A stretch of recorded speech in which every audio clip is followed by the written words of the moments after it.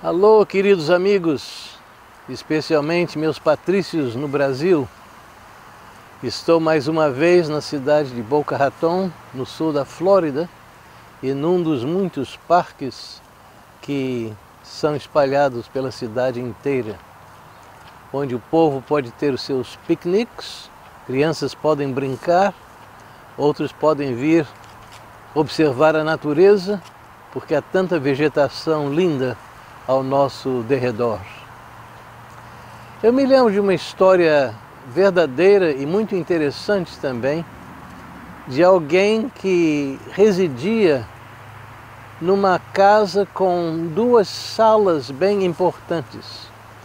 Uma delas era composta apenas de espelhos e a outra era coberta de janelas por todos os lados, de todos os cantos. Eu comecei a pensar qual seria o melhor lugar para estarmos diariamente. E essa pergunta eu faço a você também, querido amigo. Qual seria a sua preferência? De estar numa sala coberta por espelhos ou uma sala rodeada por janelas de ponta a ponta?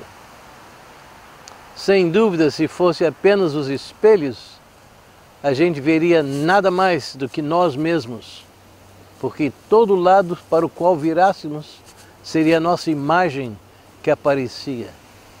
Mas sem dúvida, se fosse uma sala com muitas janelas, poderíamos contemplar o que está lá fora, o mundo e suas necessidades, o povo tanto alegre e feliz crianças pulando e brincando, além daqueles que são necessitados e por quem nós podemos fazer algo significativo.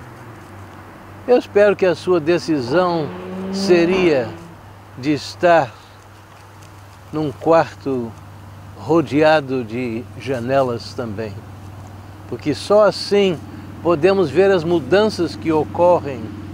O povo que lá habita, especialmente aqueles que por lá passam. E podemos notar algo que, com o nosso coração devoto às necessidades do povo e à glória de Deus, podemos facilmente descer e chegar ao encontro deles e fazer algo que nos é possível. Pense muito nisso e haja também de acordo. Eu espero que a sua escolha seja uma de estar sempre perto daqueles que podem usar a sua sabedoria, o seu carinho e tantas outras coisas de bom e de bem que você pode oferecer a eles.